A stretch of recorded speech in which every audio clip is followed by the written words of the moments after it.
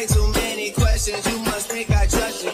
Yeah, you searching for answers. I do not know nothing.